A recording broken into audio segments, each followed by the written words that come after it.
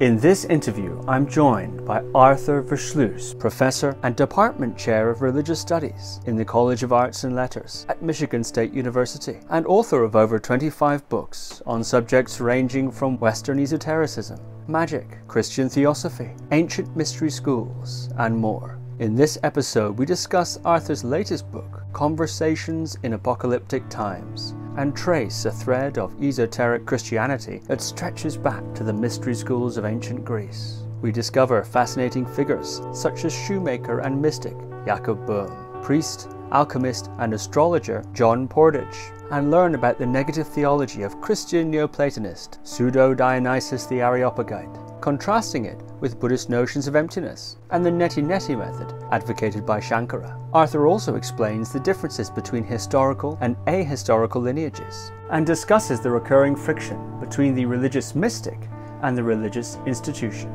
So, without further ado, Professor Arthur Versluis. Professor Arthur Versluis, welcome to the podcast. Thank you. Many people will be very familiar with your uh, enormous output in terms of writing.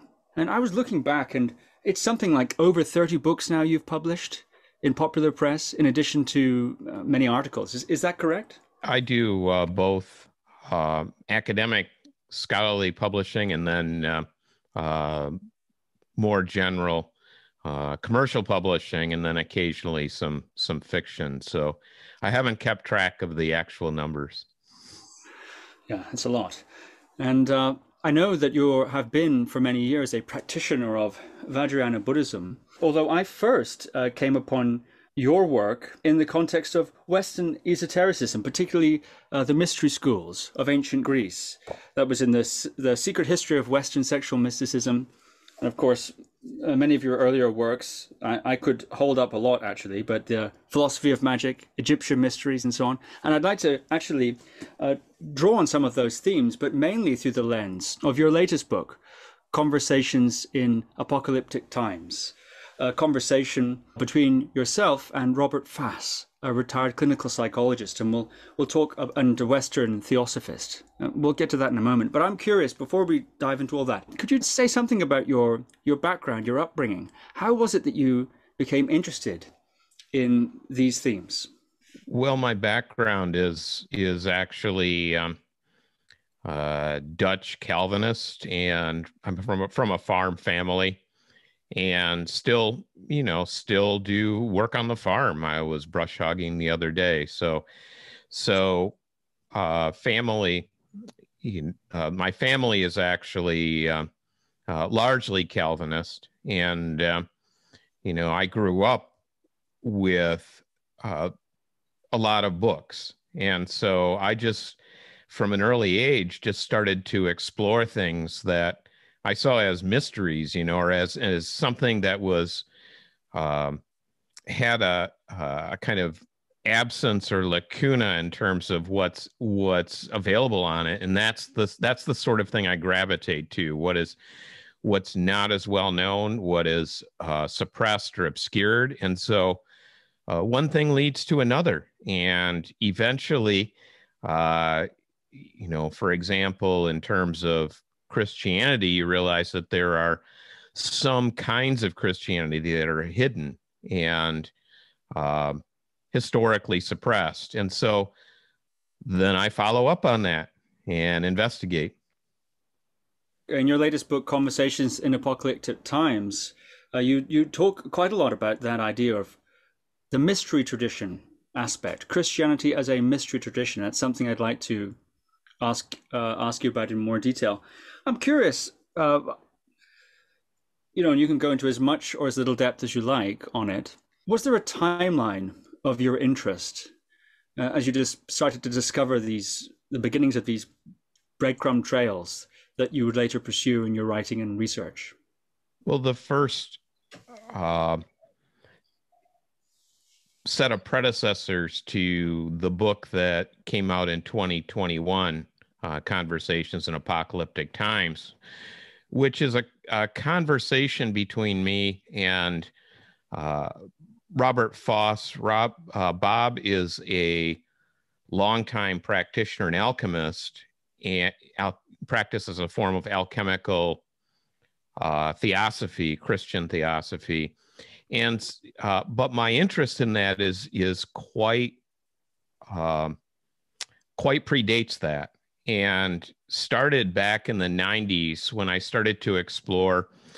Uh, first, discovering that there was a Christian mystical tradition that goes back to the early Christian period, then discovering that uh, there was an entire movement, you could say, mystical movement that began around 1600 and included uh, uh, not only Germany, where Jakob Böhme, the the mystical shoemaker, was born and uh, lived uh, in a Lutheran. He was he was in a Lutheran environment, but also in France and then in England. And so you had a circle in England uh, around a man named John Pordage, who's just an extraordinary figure. John Pordage uh, uh, had a had a circle of people. He uh, practiced contempl. He had a contemplative practice in which he would uh, uh, go into reclusion and sometimes was in a in a contemplative state for up to uh, one of his colleagues uh, said in writing uh, up to two weeks hmm. uh, at a time. So this this movement existed, and the library that you see around me it actually has some of the manuscripts, and so uh, I went there and investigated those, and ultimately wrote my first book in this area, which is Wisdom's Children and that was followed by uh, Wisdom's book, uh, also Theosophia. Uh, I published a book, a more popular book called Theosophia. And as a result of that, I started to get, I gave some talks. I was invited for some talks uh, and went to Minnesota. And at one of those talks, uh, this fellow came up to me and introduced himself and uh, said we really we really need to uh, talk about some of these things, and that was Bob Foss. And so uh, we met, um, you know, many years ago. So I've known him for a very long time. And one of the questions that I I had, and I actually wrote people in Germany uh, and elsewhere, uh, inquiring: Are there are there practitioners of uh, Christian theosophy Hmm. Uh, theosophers, are there actually, is there any kind of lineage? And actually, uh, the answer in general is no. Um, in other words, and I mentioned this in a couple of places, I have a couple of books. Um, one called Restoring Paradise, where I mentioned something called ahistorical continuity. Ahistorical continuity means that you, in historical continuity, is the traditional idea of lineage. In uh, Buddhism, for example, a teacher uh, teaches a student who becomes a teacher who teaches a student, and you can trace that lineage back in many cases. In in the West, for various reasons, it largely seems to be a historical continuity where you have you do have teacher student relations, you know, kind of relationships, and actually Böhme has a di- has dialogues, for example, that refer to that master and student. Um, but generally, you don't, and so that's kind of a historical puzzle. Um, but you do have these reconstituted or remanifested kinds of groups or individuals. So you have somebody in Minnesota, for example, who, uh, uh, over a long period of time, becomes really deeply familiar and kind of reconstitutes the theosophic tradition. And that really in- interests me.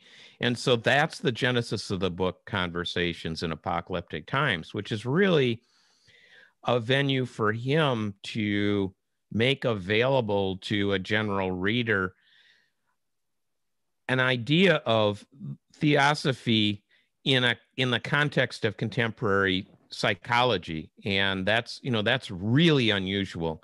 And so that book was a great deal of work but it manifests something which is actually quite rare.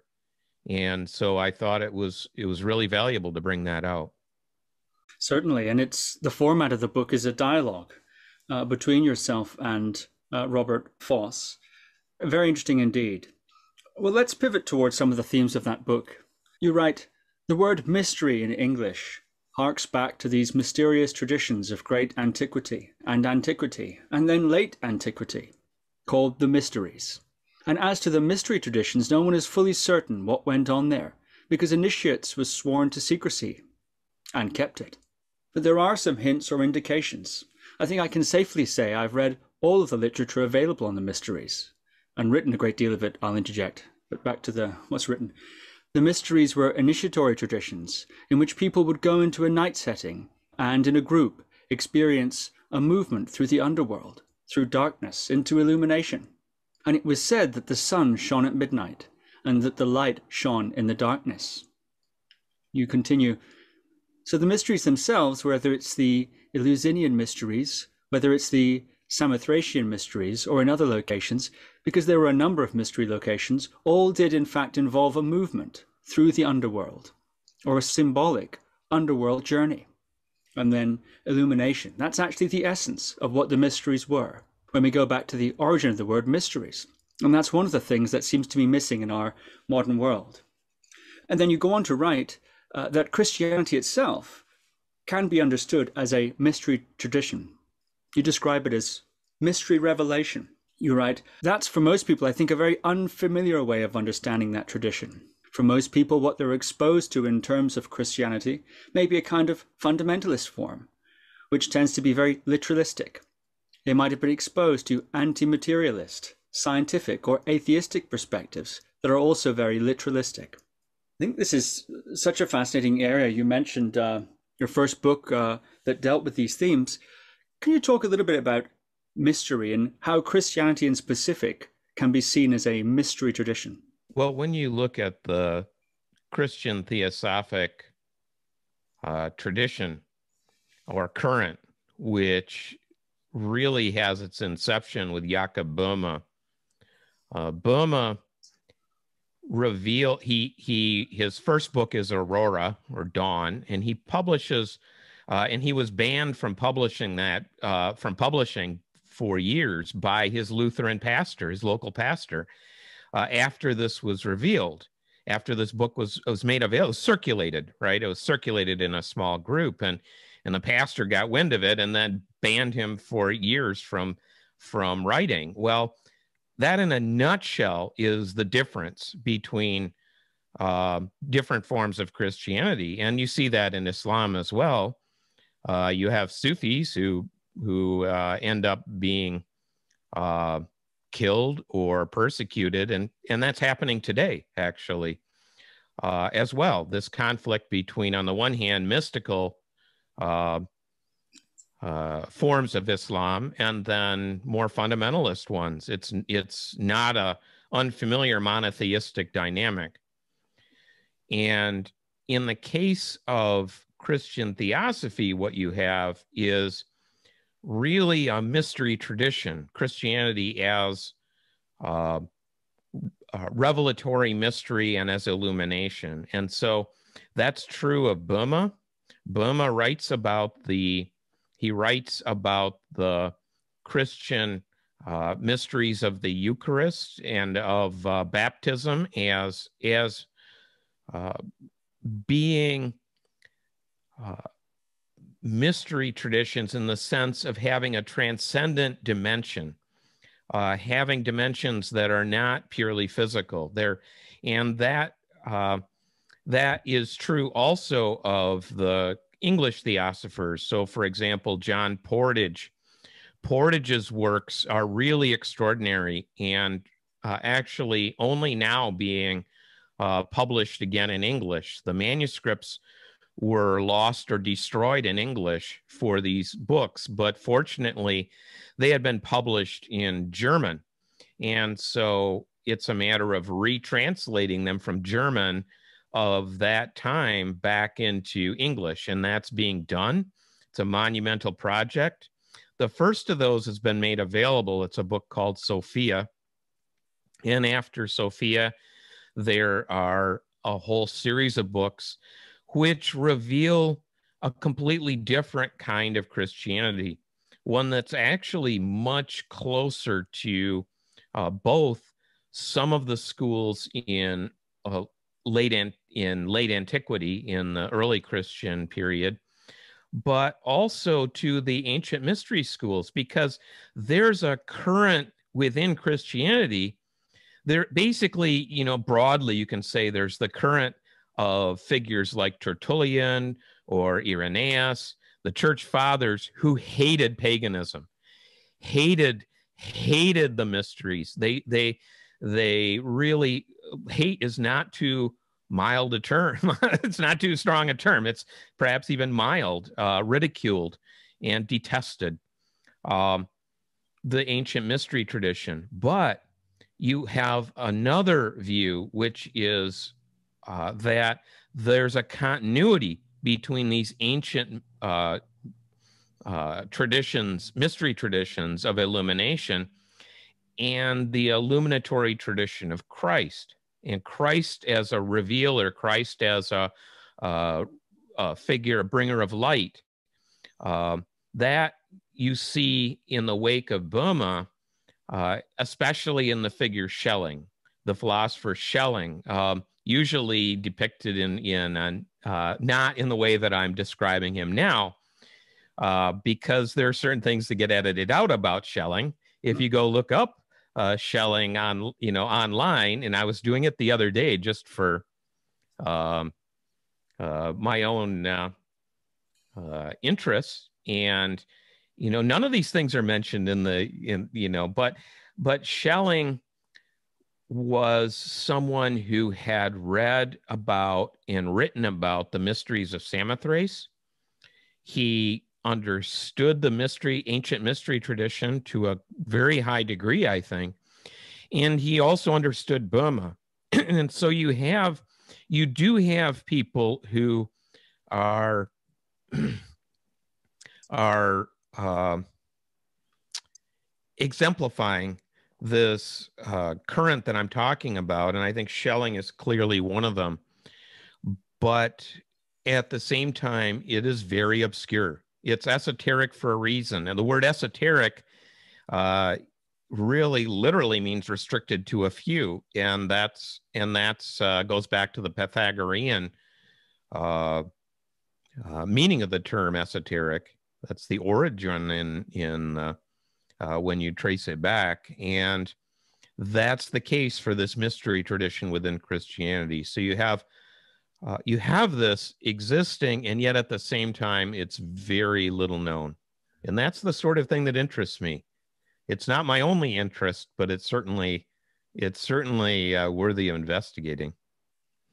Indeed, if we were to cover all of the avenues of, that your work has pursued, we'd have to have a very long podcast. So um, I think yeah, we're we're sort of zoning in on this particular one for now, but I'm curious. Uh, well, several things really. You've written about Christian theosophy. You've written there's cl- in conversations for apocalyptic times. There's classical literature, there's mystery literature, and there's mystical literature. There are alchemical writings, and then something that we're both particularly drawn to. This is you in conversation with Bob Fass, the tradition of Christian theosophy which draws together many of these different strands into a single strand, making it challenging. And I'm curious if you can, I suppose, characterize Christian theosophy perhaps in contrast with, I suppose, the more institutional variety uh, that has predominated, although that, of course, has gone through its own evolutions and changes. For, for example, you mentioned about uh, Jakob Boehme's uh, writing about rituals such as the Eucharist and seeing a, a transcendental or uh, having a transcendental view of those sorts of literature that presumably nuances or perhaps at times is at odds with the uh, mainline view. Um, could you take a ritual like the Eucharist, for example, or, or something similar, and contrast the two views, the Jakob Boehme view and the and the standard view, and perhaps also explain a little of this word theosophy. Listeners may be familiar with the Theosophical Society, which is a different uh, animal entirely. I'm, I'm wondering if you could, I suppose, put a bit more flesh on the bone of this this term Christian theosophy.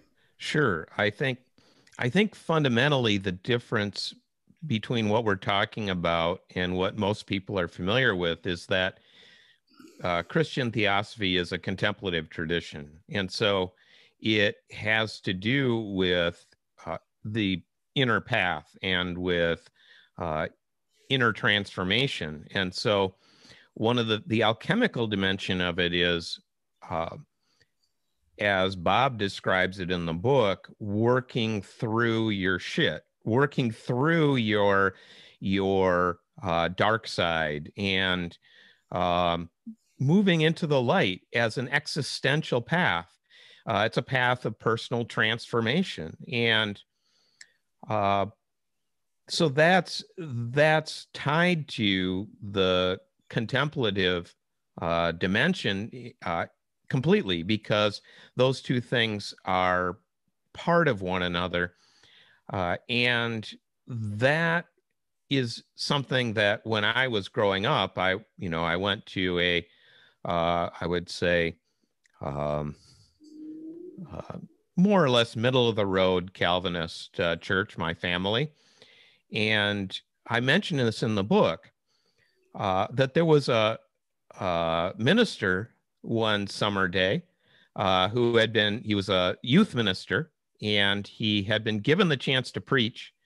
And so he preached briefly, uh, alluding to his own mystical experience with uh, Revelation of Christ and Meister Eckhart. Meister Eckhart, the great German mystic who uh, is very enigmatic.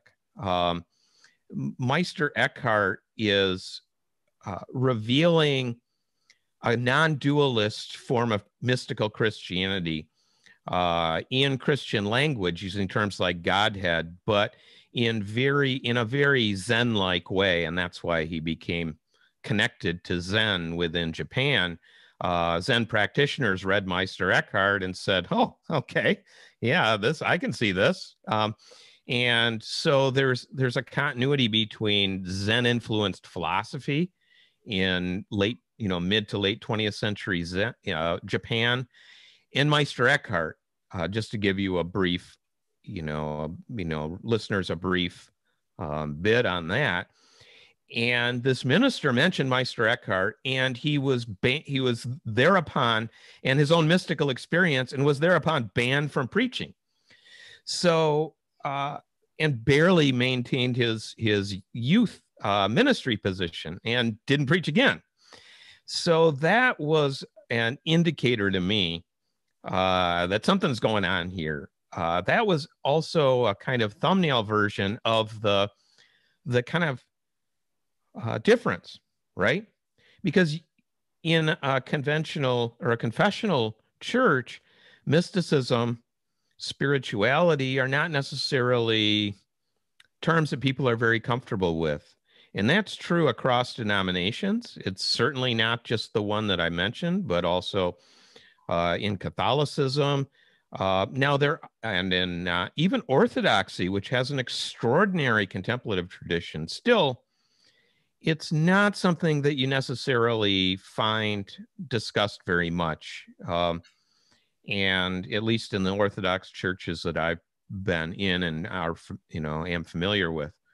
So that's, you know, that's really the the crux of the matter. Uh, on the one hand, you have mysticism and contemplative practice, and on the other hand, you have other forms of religion um, other forms of uh, monotheism that really are either not that interested in it or are actually just straight up hostile to it. And that's really the dynamic we're talking about. And that's distinctly monotheistic, in my opinion. Um, so th- those are a few remarks on that. Hmm. What do you think is the the cause uh, underlying this dynamic, this tension between the institutional religious structure, those those more institutional forms of religion, and the mystical. I think actually of, you know, when you said you mentioned it's uh, distinctly monotheistic, I was thinking of immediately, of course, my mind went to other traditions, and I think of the sort of wandering yogis of the uh, of the Himalayas and their occasional conflict, or at least friction, between those sorts of, I suppose, Mahasiddha style mystical figures and the religious institutions of the great monasteries and so on. So I'm curious um, when you say it's distinctly monotheistic, if you mean that that's a place where it's uh, most vicious or most uh, consistently apparent, or or if you see it appearing in other contexts, such as say a Buddhist context in in Tibet, for example, old Tibet. But what fundamentally, what is the origin, do you think, of this this uh, almost kind of Cain and Abel enmity? Why do Tertullian and these church fathers, Origen, and so on, hate the hate the pagan mystery schools so much? what, what is this uh, opposition, and where does it come from? Well, that's a good question, and I think it it comes down to ultimately, um, it has to do with uh, dualism. It's it's a dualistic um, us versus them uh, perspective, and that's not the only angle that one can take on the past. Uh, of course, there are institute there are conflicts between you know individuals, individual practitioners, you know maybe hermit and you know recluses or wandering yogis, as you say, and institutions. I mean, there's a history of that, of course, because and then also instant, you know, it's not that all institutions are, you know, uh, perfect. It's that in in Asia or in you know Buddhist monasteries or you know it's that the kind of dynamic that we're talking about here is uh, really an endemic one, I think, uh, within the Christian, uh, also Islamic, and to some extent Jewish worlds. And so, and I actually think it to some extent goes back to the question of how one understands is deity external? Um, because if deity is an is external, then that is uh, kind of an implicit dualism between us and deity, however one conceives it. Whereas if if there's the to the degree that you see that there's an internal dimension or that there's not a division, then that gets that starts to um, disappear. That dualism starts to disappear. And that's really i think when you get down to it some of what we're talking about here. And the christian theosophers themselves experience this. So for example in uh, england there was a theosophic group which was uh, you know essentially attacked, um, even physically, by people uh, for their uh, practices. Of course, they were a somewhat apocalyptic group. And so as a result, um, you know, there is a sort of self fulfilling dimension to that.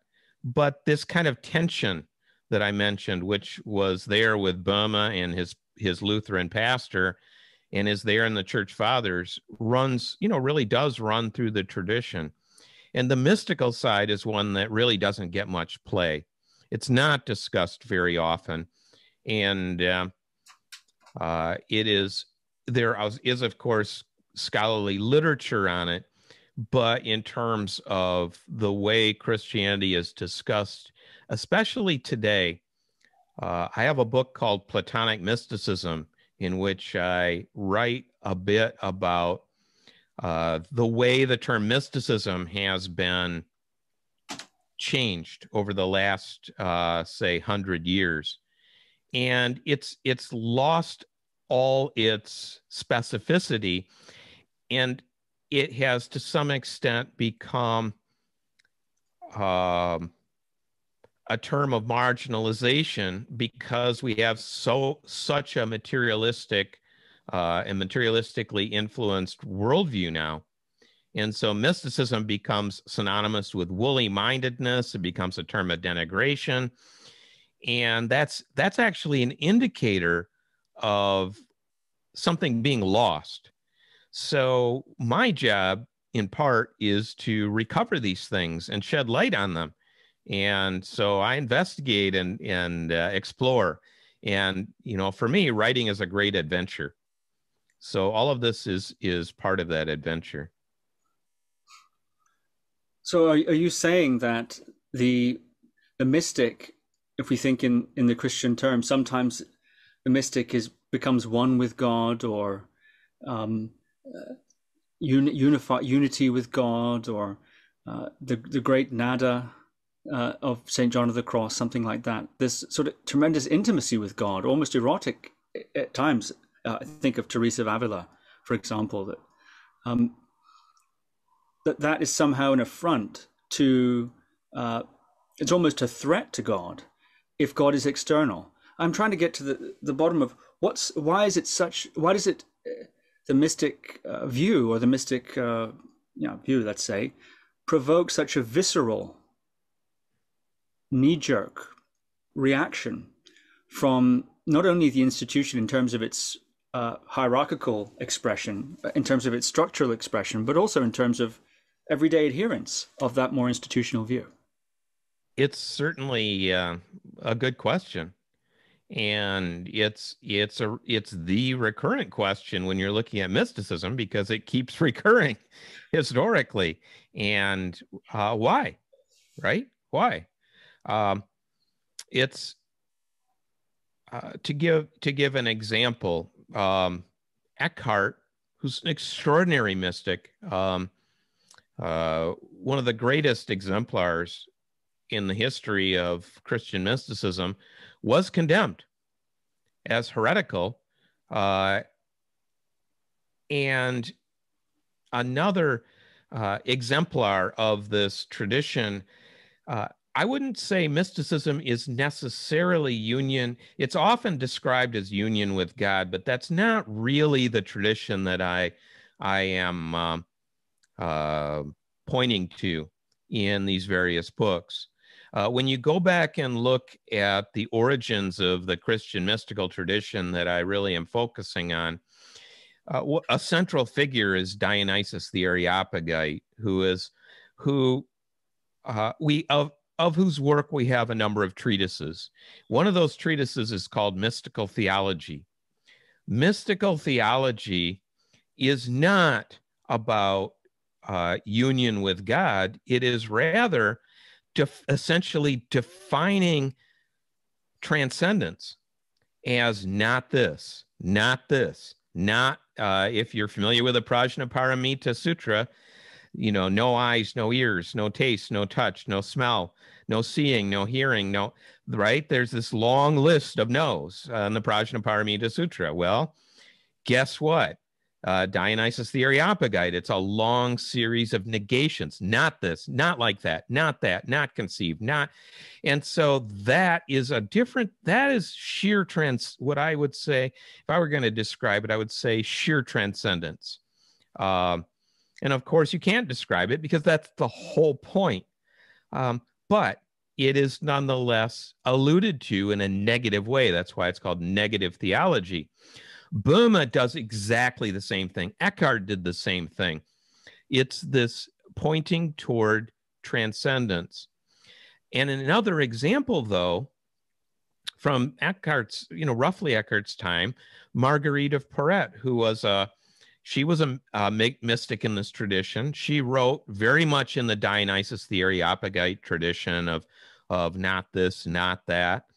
Uh, she was burned to death as a heretic. That's why I mention her. It's a horrific fate. And you read her treatise, it's beautiful. It's a beautiful treatise of negative theology. Uh, so that um, fate is underscores the tension that we're talking about. It's more than a tension. But what we have here is something that is a fundamentally different way of understanding Christianity. And there are scholarly works and various works about this. And in my own way, I've I've uh, pointed at a number of different uh, ways of seeing this tradition. One is Christian theosophy, but the other, which I allude to in the 2017 book, Platonic Mysticism, which is a SUNY book, is Platonic mysticism, the importance of the Platonic tradition in all of this, because it's not only uh, strictly Christian. Platonism, through the figure of Dionysus, the Areopagite, and then later uh, uh, also the influence of, of um, uh, the kind of influx of um, the other Platonists who then fed into Christianity because Dionysius the Areopagite opened the way through these treatises that were brought into the tradition. Uh, you also then have the influence of the, the later Platonists um, and their uh, line. So there's a, I guess what I'm saying here is that there's a direct line between the mystery tradition, traditions, Platonism, through whom those traditions manifest, and then that directly into Christianity. So it's not simply a case of Christianity alone, it's also pre existing current that feeds into it, which feeds into it through Platonism, because Dionysius the Areopagite, well, he may or may not have been, because we don't really know who he actually was, his um, uh, Dionysius the Areopagite is the vehicle for Platonism to enter Christianity and, and be carried. It's not the only one, but it's very influential. And so that current is is part of the direct link between the ancient mystery traditions, Platonism, and then Christianity all the way through into the the uh, contemporary period. We don't know who Dionysius the Areopagite was. He he was uh, he may have been actually a he's sometimes called pseudo Dionysus because uh, there was a Dionysus in the New Testament, and so he wasn't him, so he must be a pseudo. And so, uh, and also that that casts a certain light on his work because if your if your first name is pseudo, that really doesn't do so well for these treatises. Uh, so I use the term uh, Dionysus the Areopagite because that's the term that he actually used uh, you know, the name, and we don't know who he was. He could have been, uh, and there's there's been occasional uh, scholarly uh, speculation that Dionysus was uh, actually uh, one of the Platonists, sort of undercover, um, putting Platonism into Christianity so it would survive. Um, so there's sort of a skullduggery, you know, theory about about who he was. Um, who knows?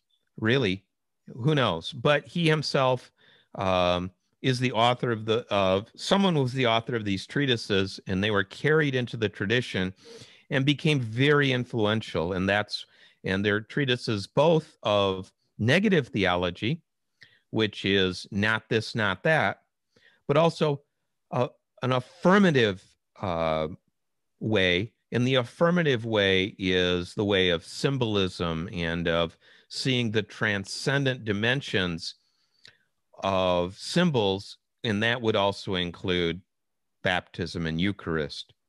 And so you have this this idea of of movement through uh, vision and through symbol toward transcendence.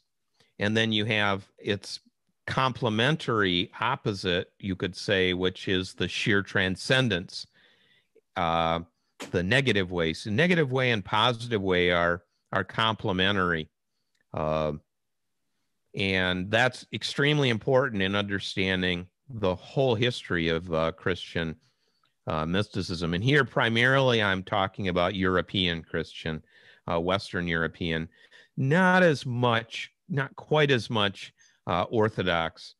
Uh, although Bob, in the book Conversations, uh, does discuss Orthodoxy, and he himself, uh, he and his wife are actually Orthodox, and so they they do bring uh, a hesychastic uh, understanding of Jakob in the context of contemporary psychology. Hmm. In the case of the negative theology of Dionysius the Areopagite, you mentioned the Heart Sutra and the negations that are uh, there. this sort of way of expressing shunyata, or you know, emptiness. And within Buddhism, of course, as, as you know, of course, the uh, that term itself is somewhat hotly debated. Uh, the Madhyamaka lit- literature, for example, versus the Yogacara literature. And I also think of Shankara with his technique of neti neti, not you know, not this, not this, not this, same sort of idea. And that has been interpreted uh, many uh, different ways, of course. What's left at the end of it all? Is it Brahman? Is it non-dual uh, union with with you know, the Atman and so on? What, what is it? So, what in the negative theology is proposed to be, if you want, the remainder when all else has been negated? Is there such a thing?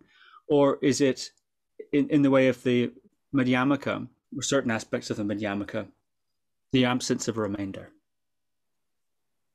Well, that points toward a real, you know, which is philosophy or perennialism.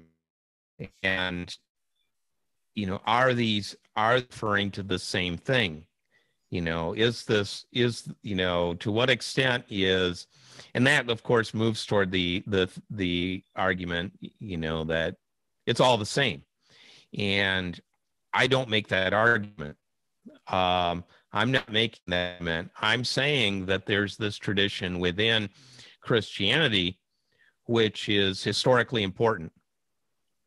And it is important for understanding what Christianity is and Platonism as well as part of that larger current.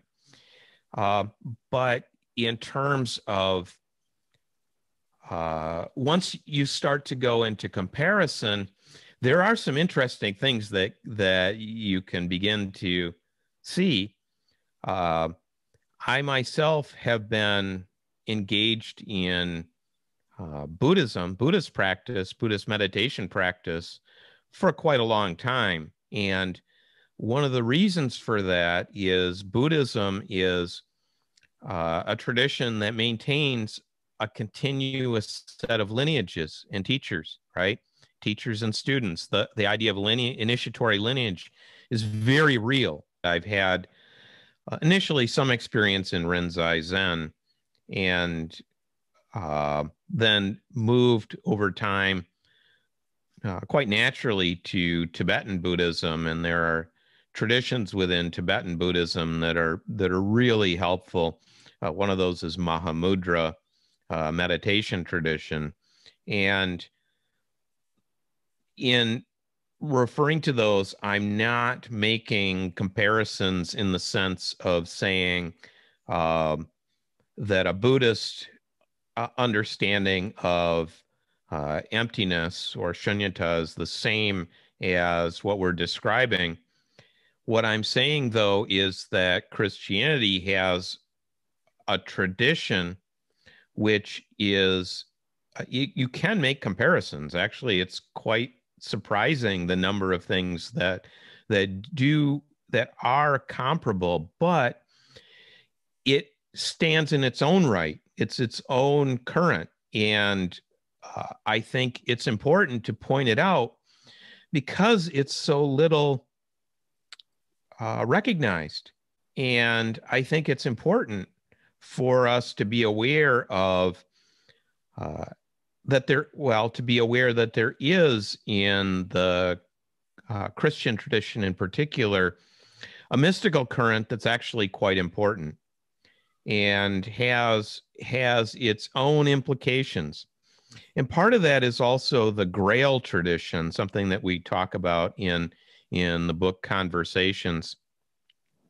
The Grail tradition uh, is is really a way also of understanding the cultural and you could say political dimensions of of what we're talking about because it's not only uh, strictly personal. There are also cultural dimensions and that's that's an interesting uh, area to pursue as well. That's something i'm also very interested in. Yes i'd like to ask you actually uh, quite a bit about that the grail and the Grail the Grail cycle, and also your comments in the book, uh, cultural comments. One last question on on the uh, theosophical uh, lineage, Christian theosophical lineage.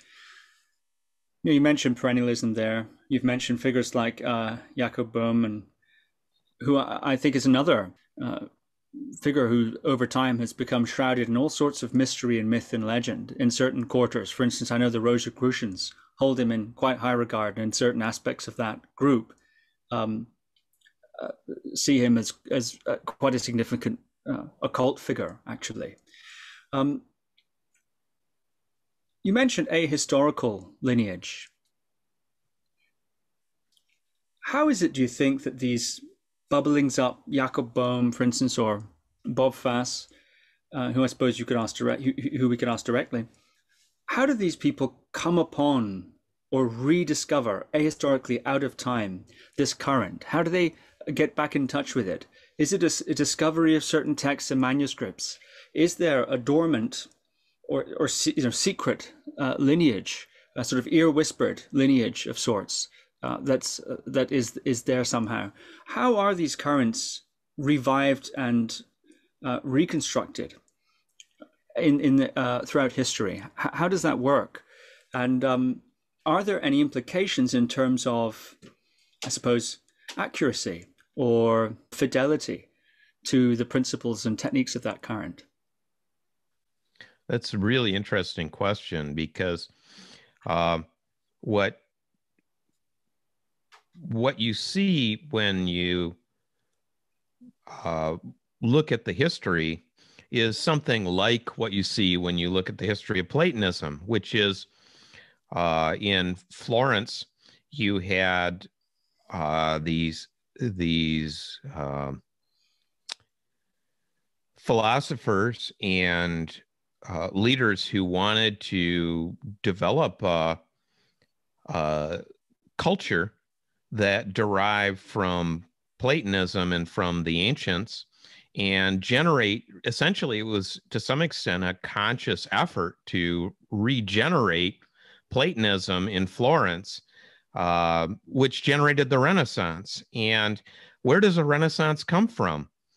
Uh, what? How is it that Florence did this? Well, some some things came together, and when the circumstances come together, and then you have these extraordinary figures that manifest themselves, like Marsilio Ficino or Pico della Mirandola, and you have you have this confluence of of wealthy people who are sponsoring this and an effort to create a virtuous society. Suddenly you have a transformation. Where does that come from? I don't it's it's ahistorical in the sense of continuity. It's a sudden kind of rebirth uh, and that's based in these platonic texts that's a renaissance where does that how does that happen hmm. it's it's kind of mysterious really uh, it's the it's the uh, coming together of contingent contingent uh, circumstances that produce it, and so too, where did Eckhart come from? Where did Meister Eckhart come from?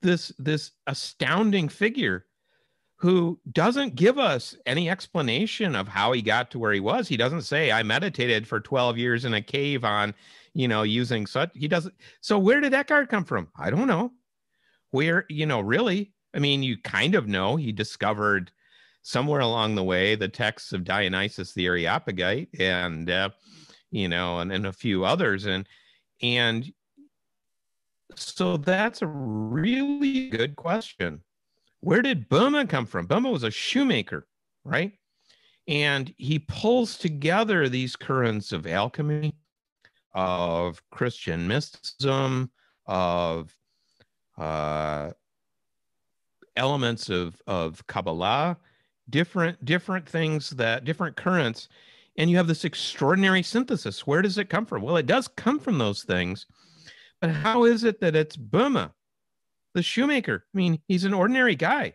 How is this even possible? Right? It seems incredible when you look at it. It's extraordinary. So that's a good question. And the answer is not entirely clear. It's the mystery of circumstance, I think, and confluence. How did Bob Fass put it together? Have you asked him that? He has been working in a synthesis, you could say. I mean, he's a he's a practicing um, clinical psychologist who drew together different uh, psychological um, forms of, of working, especially uh, Jung and Assagioli, both of whom are uh, important. Uh, but not a Jungian at all. I wouldn't describe himself as that. Uh, but he drew together those currents with uh, the Christian theosophic tradition, which he's been working in and familiar with for decades. I mean, we begin the, by say, I'm sitting in the library of Robert Foss, and that's an important note, important thing to to recognize because his library is not nothing. It is it is a remarkable library with many theosophic texts uh, that are quite rare, and he's been steeped in that and combines that with the practice of clinical psychology and has done so for many years. And so you have a unique synthesis. And that's an example of, uh, he's an example of what I was talking about with regard to the Renaissance and the idea of a Renaissance happening spontaneously in particular places because of a confluence of different factors. And in the case of theosophy or Christian mysticism, texts are an important part of that. And the texts provide pointers and directions, but then people pick pick up on it. The question is, does it remain an individual practitioner somewhere, or ha- does it have larger implications, more broad implications for society as a whole. Indeed, and that's something that you discuss with Robert in the book, uh, Conversations for Ap- Apocalyptic Times. And I'm also pleased to, uh, we were discussing prior that uh, you're open to doing perhaps a series of dialogues or at least a, a further conversation. And we'll go, I think, deeper into some of those themes, particularly the role of the Grail uh, and and other uh, mythic uh, strands in this regard, and also your work on immediatism. Uh, your book, American Gurus, which you were just discussing, is particularly uh, fascinating. And, you know, I really would like to ask you a bit about Adi Da. He and the network of figures associated with him, such as Rudi and Muktananda and so on, um, has, has always fascinated me, or fascinated me for a very long time. You know, people don't know, I think, what an influence he had especially in the first decade or so of his career. And that whole scene, that whole period of time, that stretch of of, of time with all of those those figures interacting uh, is, I think, just a tremendously fascinating area and, and, one you've documented very thoroughly, and one I think that has downstream relevance uh, even in in the sorts of themes we're seeing today. We could do that. Thank you very much, uh, Professor Versluis. Well, thank you. I appreciate the conversation. Thank you for listening to another Guru Viking podcast. For more interviews like these, as well as articles, videos, and guided meditations, visit www.guruviking.com.